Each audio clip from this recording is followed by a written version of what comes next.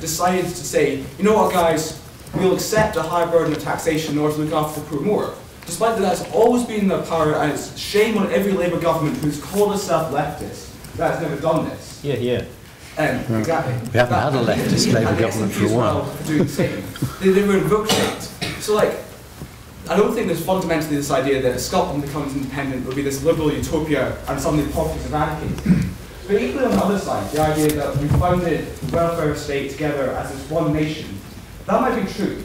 But currently, what you have to remember is that, as, as Patrick Harvie correctly points out, when the interests diverge, we're always in the minority. Mm-hmm. That politically, we're always in the minority. So when Scotland does have particularly acute poverty issues, you're unlikely to get to the specific funding for that at a time in which we're particularly cash strapped, but we don't have the economic, sorry, we don't have the political clout to demand that when there are no um, Tory or very few, unfortunately, Lib Dem MPs in the government bench to demand that inside their own parliament. So on either side of, of this house, there is less that you're willing to, in reality, what you're actually claiming.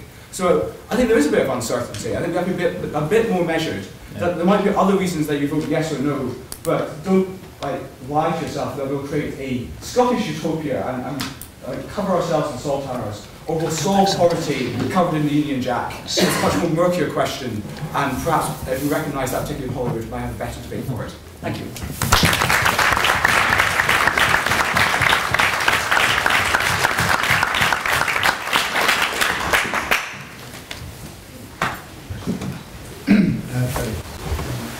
Uh, I studied history, which, uh, amongst many other things, um, made me feel very, very small and unimportant, and reminded me that there have been many hundreds of years of things coming after this, and there have been many hundreds of years of events beforehand. Uh, but like lots of my questions, I don't actually know the answer, so I'm rather hoping that the. Uh, yeah, for my flights are on. Um, but I'm, I'm rather hoping um, some. Will they have wrapping up closing speeches? Okay, well, perhaps someone can answer the question for me either in a full First I speech knew or about otherwise. But, um, if we didn't have the Scottish National Party, would this question of nationalism and an independent country be here at all? And really, I guess what I'm asking is, are we naturally deciding that, uh, or is the Scottish nation um, naturally deciding that it's coming towards the idea that actually, yeah, no, uh, well, this makes a lot of sense for a lot of reasons? Or is the Scottish Nationalist Party the cat amongst the pigeons that's making everybody think about all the questions in that, in that frame? That's my question, and I hope someone can answer it for me.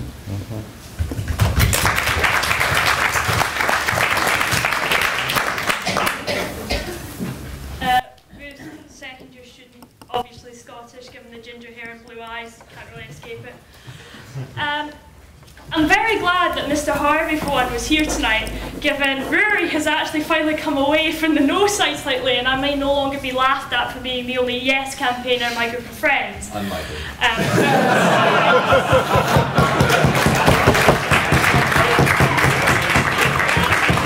I'm sitting here now. I'm obviously not a racist towards the English. I'm a quarter English, about an eighth Welsh. There's some Irish in there somewhere. Basically, I'm a Scot, which means I'm pretty mixed. Um, I'm also, as many people will know, dating an Englishman, although he wouldn't like you to call him that. He's a Yorkshireman. Absolutely. England is very much a set of regions in a way that Scotland isn't, okay? Scotland is more one nation than England is, okay? We are regionalised to an extent. When I arrived in St Andrews, my first day here, I was told I sounded very East Coast, something I'd never ever been told before. But this was because this other person was from East Kilbride and had never heard this sort of accent before. Um, for the record, in terms of some of the other points we made in the house tonight, um, I grew up in Dundee. Uh, I'd like to point out it's not as bad as some people say Andrews like to think. Sorry, Dundee State School coming out here. Um, but basically, I think a lot of people would be better off if we were separate. You can argue about the economics till you're blue in the face. I think we get by one way or another. I think the main issue here is one of representation. Now, this is more in response to Freddie here. England is a foreign country to me, and always has been. Before I came to university, I'd left mainland Scotland three times, and only one of those was actually to go properly south of the border, very, very briefly. And it's more foreign to me in many ways than parts of Europe. It has cultural differences, there are differences there. You know, I'm not being racist here. It is just, you know, from here to London is quite a distance, and across that distance you find difference. This is what happens naturally. It's not a bad thing. I'm not saying that because the English are different to me, they are wrong. I'm saying they're different. Therefore, given the fact we live in a globalising world, where international institutions and international bodies, etc., are becoming more and more important, I want a representative there that is closer culturally to me, closer geographically to me, and somebody I can relate to more and that can more importantly relate to me more than someone that's in London. Okay, a government that sits in Edinburgh, because it represents fewer people, because it governs a geographically smaller area, provided it uses the correct electoral system, which it sounds like it will, is going to be more representative. That's the way it works, okay? Then, when this, you know, government or whatever has other representatives elsewhere that go and represent us on the international stage, they are also going to be more representative. And this is what is important. You're going on about, you know, I think it was Mr. Rennie here that was saying about small countries, you know, aren't viable in the modern world and all this sort of thing. That. Well, no, it was successful modern countries don't break up. Hmm. Okay? Arguably, we are now in the age of the nation state, okay? Because in international institutions where you need representation, you need nation states, i.e., one nation equals a state. Because if you have a multi nation state, having a coherent voice is nigh on impossible. This then leads to problems because if you have each representative in this international institution, say I was saying a parliament, trying to represent all these different views and interests, and then this is going in with you know several hundred others saying, oh, we only represent about five different interests. It doesn't work, it gets too complicated. I feel that Scotland could have a more coherent voice on the international stage if we were separate, because we do have more coherent interest than England does. Because we are geographically smaller, because possibly partly because of contrasting ourselves with the, with the English, and because of the way the United Kingdom was formed, we have a coherent national identity. I think we would be more representative. I also agree with the others in that we would probably be economically better off. We could get rid of nuclear weapons and all the rest of it because this is what the Scottish people want. In terms of education, I'm not worried about funding for education because in Scotland it's always been a priority to fund education. It's why I don't pay tuition fees because in Holyrood it was prioritised. We don't we have a limited pot of money, but education that's free. That's free at the point of access. That's it. That's something that's always been in the Scottish psyche and isn't going to change. It's still there. Same with the NHS. Even if we have limited money, we're still going to prioritise these things because we always have.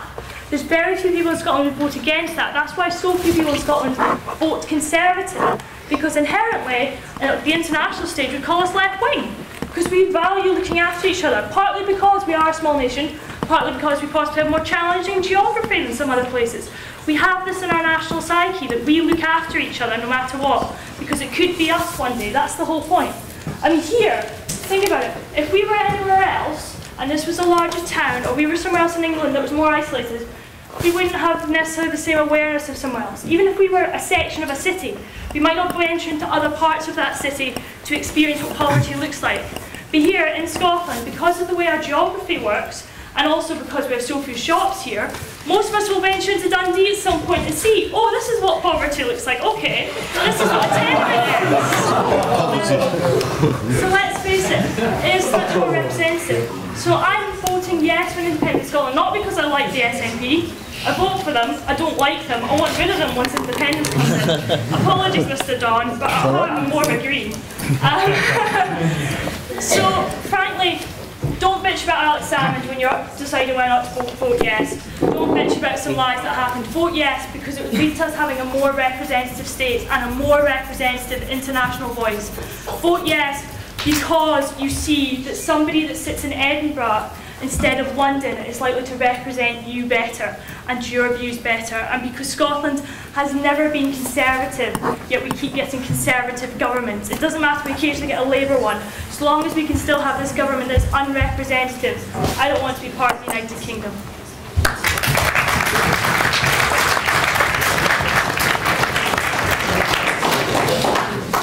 Um, my name is Daniel Goldblatt. Um, I'm, I look at this from a slightly um, removed perspective. I'm not Scottish, I'm not English, I'm not Welsh, I'm South African. Um, and so my, obviously my views aren't quite neat. uh, tightly bound and this up with this issue as, as others.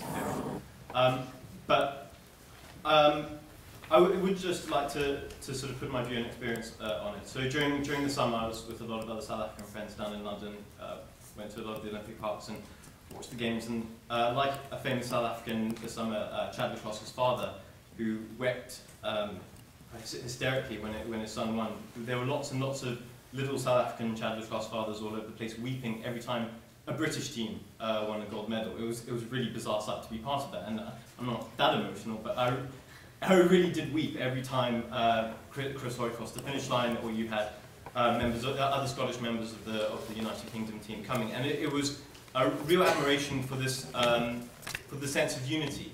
Um, and th this this this idea of unity is an incredibly powerful rhetorical device, and you see it. Uh, you saw it during the Olympics, and you see it on the side of the House, uh, speakers on the floor, and most potently you saw it in Obama's acceptance, first acceptance speech and his, his latest one um, the idea of the constituent parts coming, coming together as a whole.